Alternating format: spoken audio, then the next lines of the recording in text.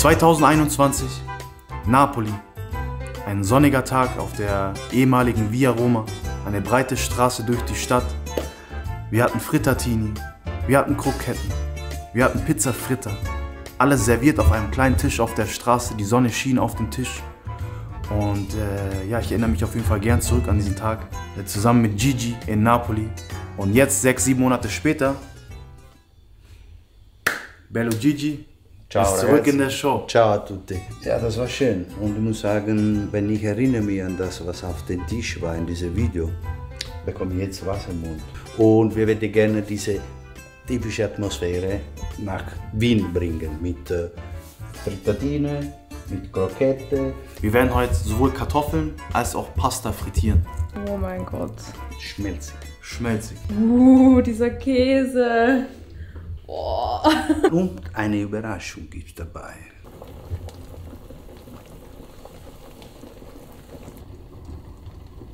Wir starten mit einem Kilo mehligen Kartoffeln, die wir schön weich kochen, 30 bis 40 Minuten für die Füllung, für die Kartoffelmasse später unserer Kroketten. Und wir fangen gleichzeitig mit äh, Bechamel. Bechamel sind immer diese vier Zutaten: Milch, Mehl, Butter und Muskatnuss.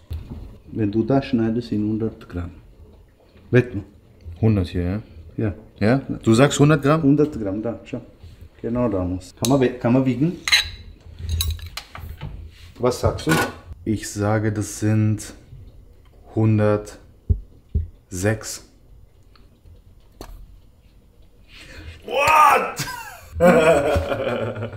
Aber wie gesagt. Stark. 100 Gramm Mehl. Ragazzi, aufpassen, es ist heiß. Okay. Mehl kommt dazu, ja? Ja, genau, die 100 Gramm Mehl. Milch. Milch, genau. Ein Liter Milch hast du schon abgehoben. Ja. Okay. Okay, let's Wir müssen das Rezept jetzt abändern. Ja. Auf 700 Milliliter Milch. Genau, es ist ein Unfall passiert. Meine Mutter das sieht hier. Ich weiß, was sie sagen will. Wenn deine Mutter das sieht, wenn das Sabrina sieht. Sabrina, ich war das nichts, eh? ich verspreche dir. Okay, ragazzi, äh, wie ihr gesehen habt, bei mir Bechamel ist so gekommen, auf den Kochpunkt zeigen. Zu vermeiden, dass diese wie es Krummel, Klumpen. Klumpen, muss man immer langsam, langsam den Milch reingeben, dass schön cremig wird und keine Klumpen. Klumpen, wie der Lukas gesagt hat. Okay?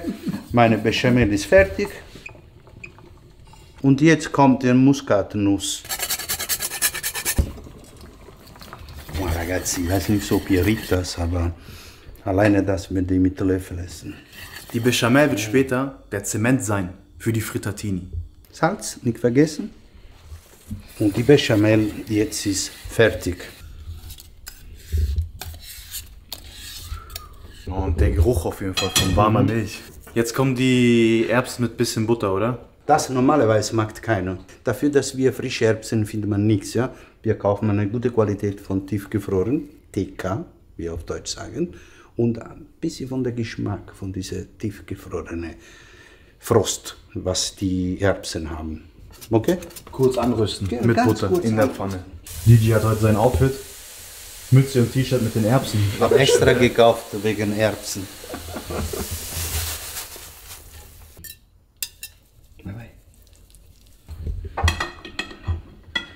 Gelato di Bechamel Piselli, Erbsen und Bechamel heißen. Schneiden wir jetzt den äh, Prosciutto, was wir da haben. Nicht so dünn kaufen lassen, einfach eine Spur dicker, weil es muss in die Zähne Man braucht so einen kleinen Biss, willst du sagen, Ja, oder? genau.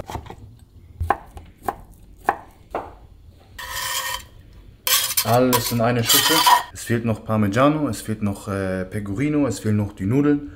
Und das wird die Schüssel oder die Masse für unsere frittierten Nudeln. Die Kartoffeln hingegen hinter uns werden für die Kroketten sein. Ok ragazzi, während Luca schneidet die ganze Prosciutto, Mozzarella und, und nichts Mozzarella, Rauchmozzarella, Scamorza. Ich muss schauen, dass die Kartoffeln gekocht sind. Wie macht man das?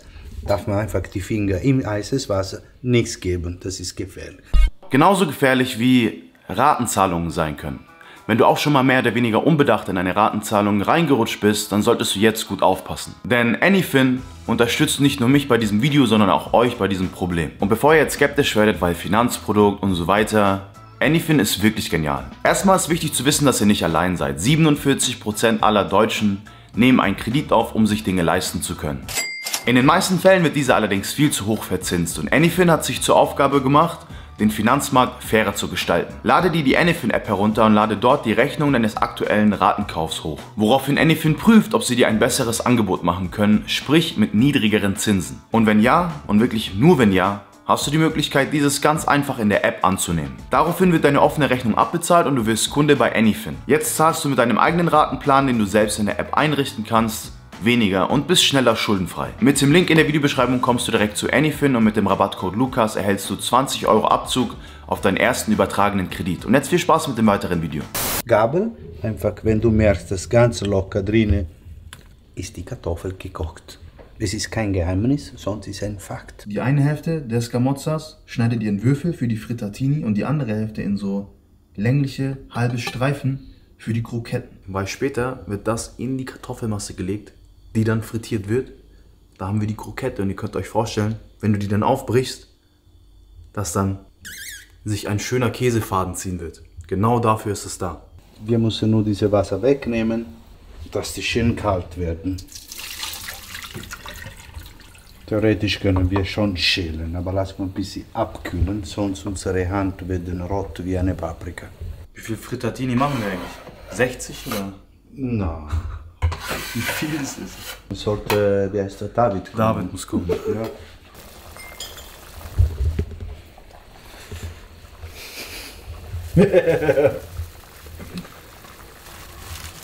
Ich koche die Pasta nach Lukas hart. Hast du ein Problem damit, dass wir das in eine Pfanne geben, oder? Na, ich nichts, aber vielleicht die Spaghetti schon. Wir salzen gleich. So, die Kartoffeln wurden geschält von Mario. Die Pasta kocht. Jetzt, Mario, willst du, du eine Kartoffel pressen? Ja, Genau, einfach so. Kartoffel rein. Zusammen. Ist das schon fertig? Jetzt, ja, ja, jetzt aufmachen. Und die nächste. Ja, ja, Jetzt noch ein bisschen Butter dazu. Boah, Das ist gut, das ist. Mhm. Hast du schon mal gegessen mit Butter? No? Das ist jetzt deutscher Style. Hat einen Namen, diese Gericht? Kartoffelbutter und Milch. Ah, super Name. Und so muss jetzt einfach. Ja, ja. Und sie sagen, das ist urgut. Ja, ich weiß. Jungs, ist echt gut. Die Kartoffeln sind gestampft. Meine Damen und Herren. Ok ragazzi, die Pasta ist gekocht.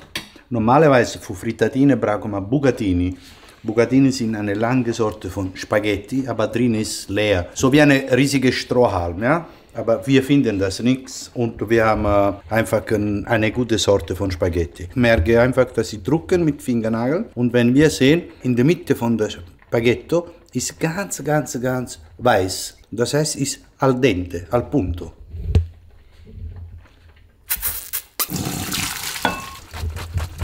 Lass mal ein bisschen kalt werden und Lukas wird jetzt ein bisschen Pecorino und Parmigiano. Schau mal, wie der Pecorino schwitzt. Warum? Ich frage dir, warum? Oder kann jemand von euch mir sagen, warum Pecorino schwitzt und Parmigiano no? So, der halbe Pecorino in unserer Masse. Parmesan. Genau, bravo. Okay, und ein bisschen Parmigiano. Jetzt die heilige Mischung. Die Nudeln mit der ganzen Masse. Okay, bist du dran? Reinzugeben und Vermischen? mischen? Alle mischen. So schön. So? Ja, Einfach ja. jetzt. Genau. Mit den. Händen. Genau.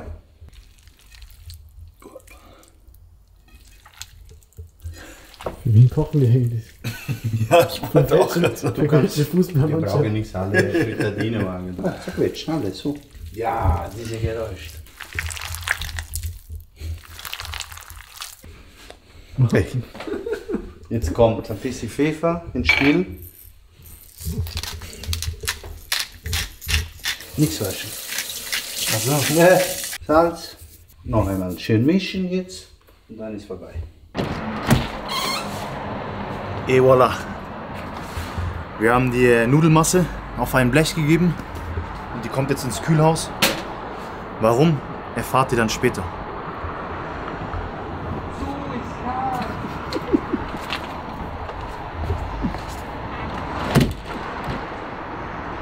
Hey!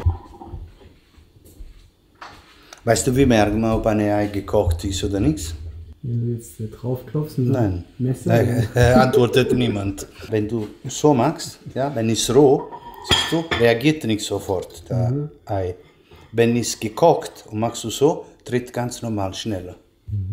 Oder machst du so, Und während die Masse der Frittatine auskühlt, kümmern wir uns um die Masse der Kroketten.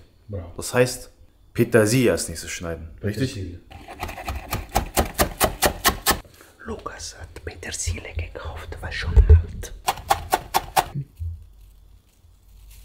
Unsere Pfeffer kommt in Einsatz.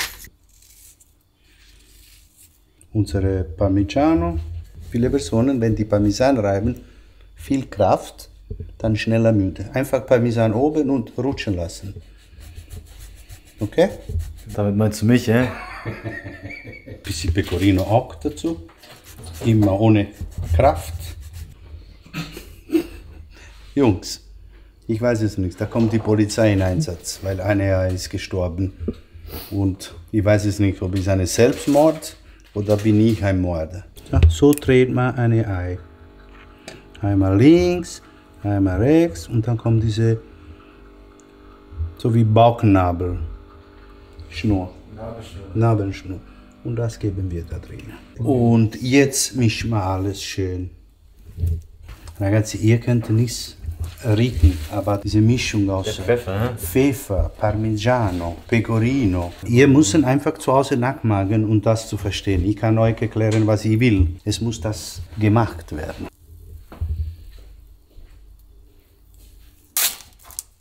Wir formen jetzt die Krokette. Willst du auch einen selber machen? Ja. Wichtig ist, dass wir die Hände, es tut nicht schlecht. Wir nehmen ein Stück von der Masse. Entsprechende Größe ist so, Lukas. Okay. Dann wir nehmen das. Wir drücken einfach in der Mitte und dann noch einmal zumachen. Und das ist unsere Krokette. Okay? Das ist wie Nigiri machen. Genau. Ist mag nichts, der weiß nichts. So ist gut, hä? Bei, bist du so groß haben? Ist das ist doch genauso groß? Ah, okay. Einfach so. Ja, genau. Reindrücken. Rein. Einmal Ohne versenken. Hand es passiert nichts. Ist schon gestorben, die Kartoffel. Und mit Zeigenfinger und mit äh, Daumen einfach die, die Formen da. So, verstehst du? So? Perfekt. Und weitermachen. Okay, ragazzi, die Krokette sind auch fertig. Da sieht man, wo die Lukas große Hände hat, größere gemacht. Mario hat auch gemacht, das ist Mario, sieht man, schütten ein bisschen dazwischen. Aber wird schon. Bleibt da, und hoffentlich keine Tauben. Was machst du da? Wir schmelzen Schokolade, Lukas. Für unsere Überraschung die Caprese. Caprese ist eine Torte, kommt aus Capri, von seinem Namen. Und das werden wir heute machen, für euch. Als kleines Dessert. Ja. Des Weiteren, wir brauchen 200 Gramm gemahlene Mandeln in einer großen Schüssel und dazu kommen 200 Gramm Puderzucker. Oder wie Luigi sagen würde, oder Sabrina sagen würde, Staubzucker. Und vermischen. Richtig so? Genau. Weil sonst, wenn du gibst jetzt Kakao oben und mischt mit Butter, Kakao kann fliegen. Das ist sehr ähm, Leicht. leicht. Ja. Genau. So wird schwer und du kannst leichter mit äh, Butter Butter, bearbeiten. Schön weiche Butter natürlich nehmen. Und jetzt alles. Genau.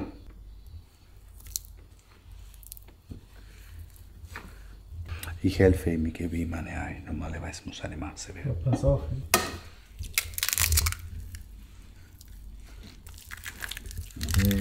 Wie lange kommt der jetzt rein? Insgesamt acht Eier. Hallo, oder? Achten auf die Qualität. äh, Nummer null. Oder, Lukas? Sowieso, ja.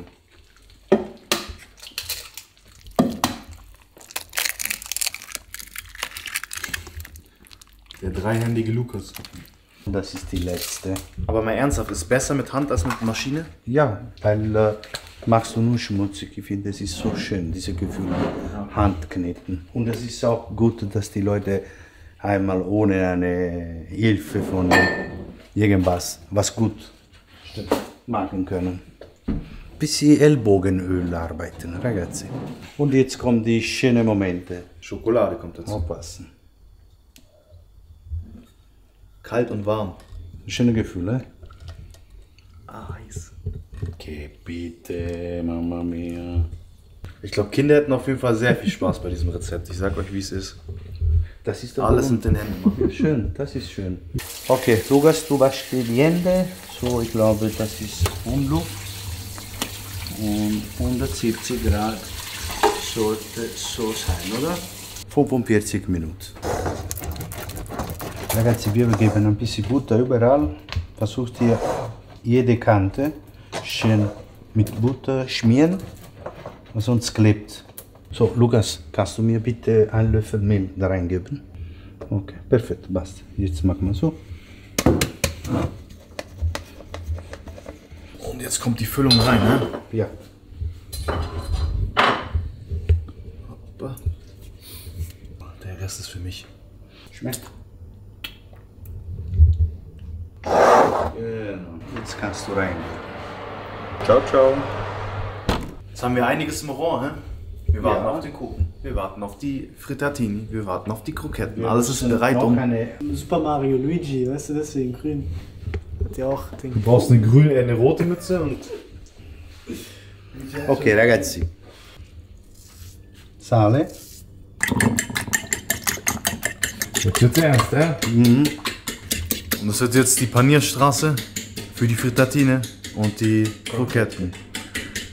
Ei, Semmelbrösel, Olio. Öl.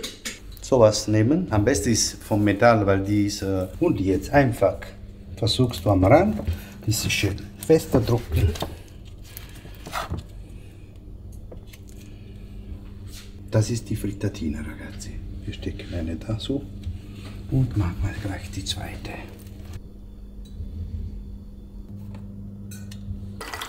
Wir steigen ein mit einem Negroni Spaghetto. Auf gute Frittatine. Auf, auf uns. Auf euch.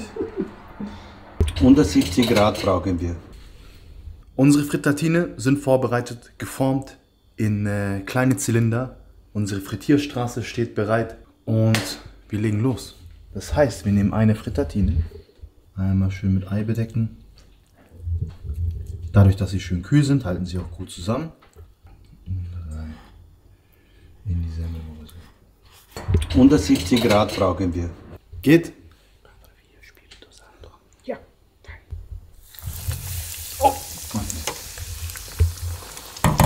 Und jetzt, wo wir, wo wir Das fällt dran. oh, raus, goldbraun. Was sagt ihr, Leute? Goldbraun crispy. Abtupfen. Die Kroketten liegen auch schon bereit. Gelb, grün mit dieser Petersilie und diesem Klecks Mozzarella in der Mitte, der später so schön, wenn wir sie öffnen, einen Faden ziehen wird. Und ich würde sagen, die kommen dann direkt nach den äh, Frittatine in die Fritteuse. Ja. Den zeigen wir euch erst später.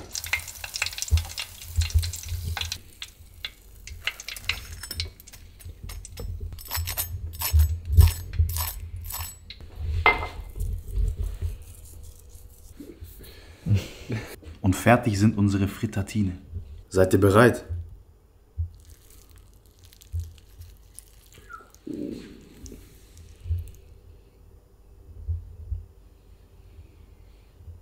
Ich glaube, der Scamozza hat auch seine Arbeit gemacht. Ja, ich glaube auch. Okay, ragazzi, schade für euch, aber gut für uns. Ich glaube, es sind gut gelungen. Musst du nur den Test jetzt vom Geschmack. Die können gar nicht nicht schmecken. Schau mal, wie. Allein wie du das in der Hand hältst, wie du es spürst. Ich habe das kann nur was Gutes Ich habe Wasser im Mund wie meine. Katze. okay, ragazzi, ich sage eins, zwei, Drei. drei.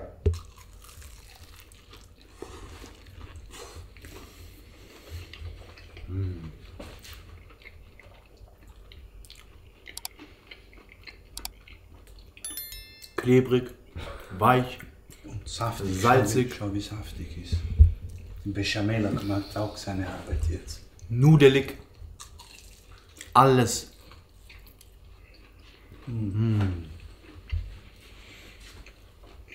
Super gemacht, bravo. Du. Du. wir, wir. Zurück in Napoli. Ragazzi, das ist echt Napoli. Eine kann ich euch sagen. Unbedingt diese Gericht nachmachen. Unbedingt. Das wird sicher euch. Aber ich sag euch, machen. die sind lecker. Aber ich glaube, mein Favorit, ich glaube, das wird nochmal toppen, was jetzt dann gleich kommen wird. Oh mein Gott. Uh, dieser Käse. Oh. Geil. Den Crunch. Den Crunch, Schwester. Was habt ihr da gemacht? Oh mein Gott. Das ist so fettig, dieses Ding. Aber gut. Richtig gut und so crunchy. Und die Erbsen drin finde ich sehr geil. Ist, ist einfach rein.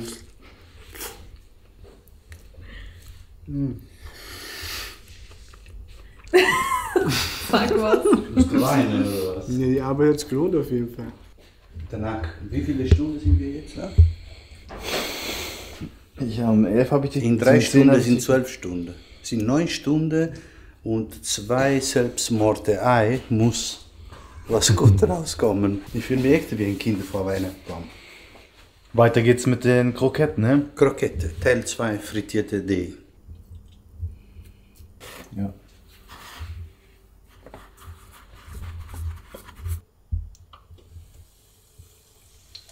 So, davon können wir gleich zwei, drei machen, oder? Genau.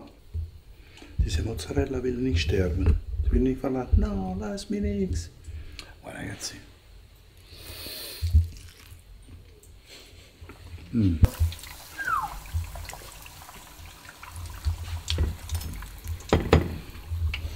Runde zwei.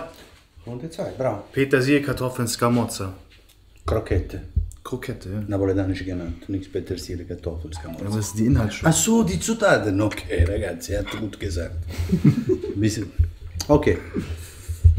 Ein, zwei, drei, los.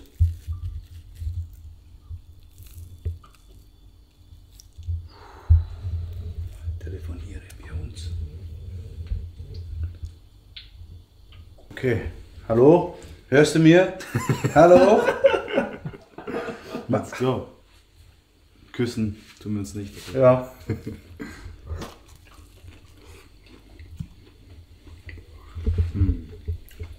Bisschen mehr Salz drin. Heiß. Okay, bitte. Weiß.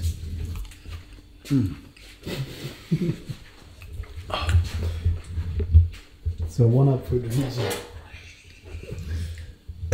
Ist echt so heiß? Meine Speiseröhre verbrennt gerade, jo. Ist gut, aber es könnte noch mehr Käse drin sein. Parmesan. Mehr Käse. Und ein bisschen Salz noch drin.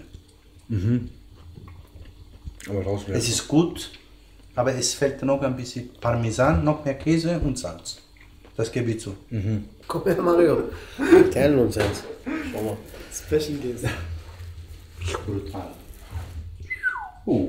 Geht schon, Mario. rein. Oh, weiter geht nicht. Wer gewinnt Weiter den Fight? geht noch nicht. Schau, wie viel Gluten. Da wird jetzt was Oh, weiter, passieren. weiter, Wir weiter, kriegen weiter, Probleme weiter. mit der Story. Weiter, weiter, weiter. Jetzt durch Food. Why, why, why? So, schaut mal saftig aus. Wow. Schmeckt.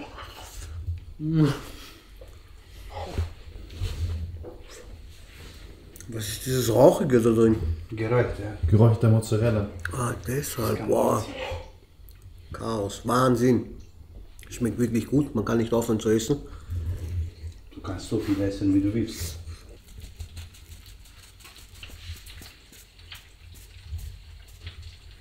Et voilà. Dessert-Time. Schau, das ist machst du so, schau. So, du machst so.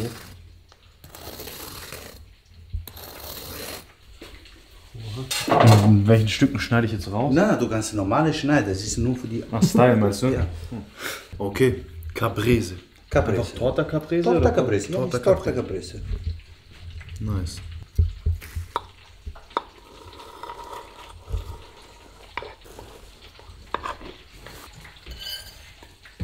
Ja, so die geht schon.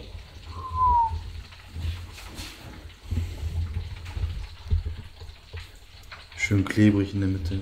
So, ohne Mehl. Hau rein. Ich soll. Ja, ja. Ok ragazzi. Rica mal. Ja. Soll ich hau rein? Ja, hau rein.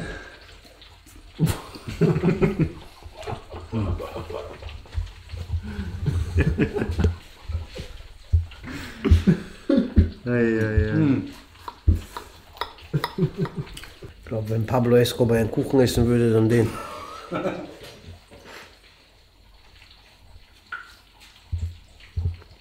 Wow. Luigi Meister. Dankeschön, aber ohne Meister. Jetzt kommt die wahre. Uh.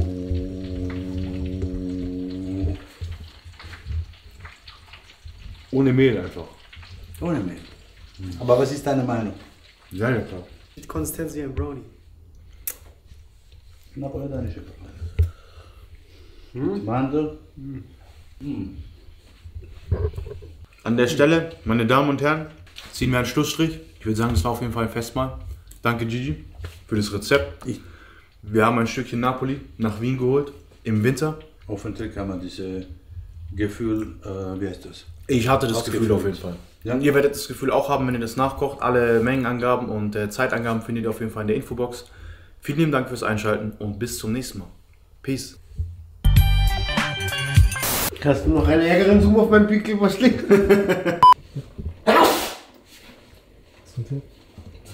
Salut. Kroketten, also damit ihr euch auskennt, es wird. So, der halbe Parma Abu Seiner Kamus.